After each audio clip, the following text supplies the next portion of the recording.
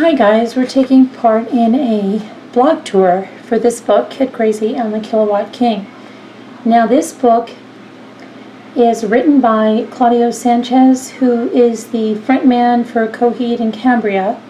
He's already a New York Times bestselling comic book creator, but he ventured into new territory with his first children's book, the one we see here, Kid Crazy and the Kilowatt King. In this book, Kid Crazy Carlson longs for adventure in the far off and bustling city of Ever. His world changes when he meets a strange droid named Denuzio. This droid warns Kid of the city's grumpy kilowatt king, who's a rude man, and one that forces the citizens to sing for him. Despite the robot's warning, Kid decides to make the voyage to the city and the two set sail in a car made of bread through beautiful and bizarre landscapes, passing extraordinary sights like candy bar men, robot travelers, and dancing elephants, before finally reaching the city. When Kid eventually comes face to face with the rotten ruler, he decides it's time someone teaches him a lesson in manners and the power of the word please. The idea for Kid Crazy actually started as a rock opera in the vein of Ziggy Stardust and the Spiders from, from Mars, says Sanchez, but as it took shape, it began to feel like something that could appeal to a child's imagination. Kind of fantastic journey with a lesson. The 80 page book features art from Brazilian illustrator Arthur Mask.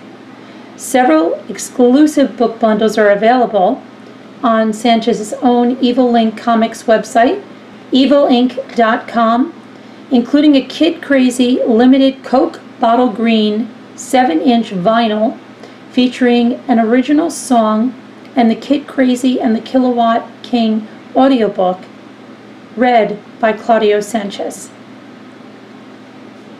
The book is 9 by 8 in size, 9 inches by 8 inches in size, retails for $24.95 US dollars.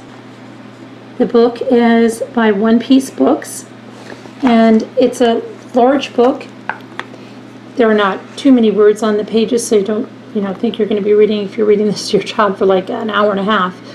Um, you know, when you want them to go to bed, but you'll see the the illustrations, and I read this to my kids the other night, and they really like this. So, you know, I can show you here.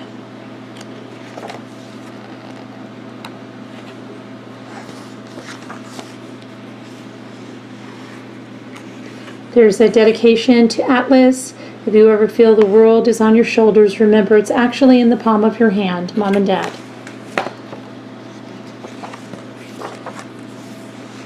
And so that's, just make sure you can see, can see the main character there. There's a kid. This is the story of a boy lost at sea, but the sea was a desert and he longed to be free. So it's a, it's a very nice um, book to read at night because it has a very good message and like I said it's enjoyable. Very nice illustrations. Kids and adults will like it. How I long to explore in the walls of that place sighed the curious boy a sad look on his face. Sounds like it can be read like the night before Christmas almost. Then came an answer through the quiet and bare from a droid who before simply had not been there or sometimes it sounds a little bit like Dr. Seuss, but it's. I can't understand why you'd want such a thing. Why go to that city with its rude, sour king? There, there's the, you know, it's sounding like Dr. Seuss to me, but it's it's a delightful book. So if you want to check it out, you know, you can. We're going to add it to the holiday gift guide as well. Make some lovely present for um, any child. It's Kid Crazy and the Kilowatt King by Claudio Sanchez and illustrated by Arthur Mask. Thanks for watching.